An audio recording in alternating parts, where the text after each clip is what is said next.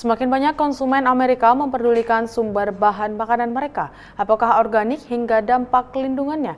Perdebatan ini kini terjadi antara penggalak cocok tanam konvensional dengan penggiat inovasi kebun vertikal dalam ruangan, termasuk mengenai mana yang memiliki jejak karbon lebih besar. Berikut laporan Nova Purwadi dari VOA. Eden Green Technology adalah salah satu pemain relatif baru dalam perkebunan alternatif. Perusahaan ini menanam sayur mayur secara vertikal dengan sistem hidroponik dan pencahayaan artifisial. Tak seperti perkebunan konvensional, metode berkebun seperti ini tak bergantung pada cuaca dan musim. We try to use every part of nature and the environment outside that we can to our benefit, but by also giving these plants the optimal grow environment 24-7, 365 days a year. We do that at Eden Green by controlling the actual climate around the plant and focusing on what the plant needs all the time uh, during day, during night, how we can supplement that in the summer and the winter. We're actually trying to be seasonally agnostic and give this plant the best growing conditions year round. Tapi menurut seorang ahli tanaman, ada yang hilang dari sistem penanaman vertikal dan dalam ruangan tertutup. This farm is supporting those trees and those patches of forest and these meadows.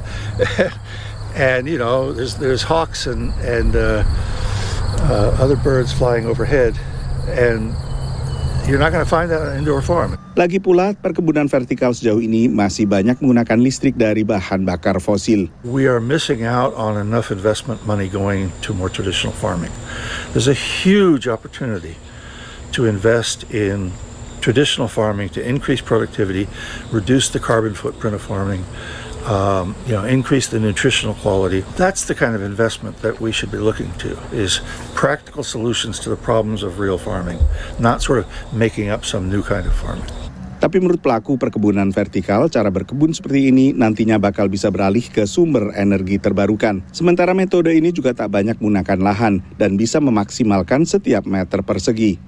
Controlled environment agriculture is coming into a space that's you know this is this is necessary now. We've come to a point of necessity that like traditional ag is not the most convenient or environmentally friendly way to grow things on a large scale and produce them as quickly as we need them.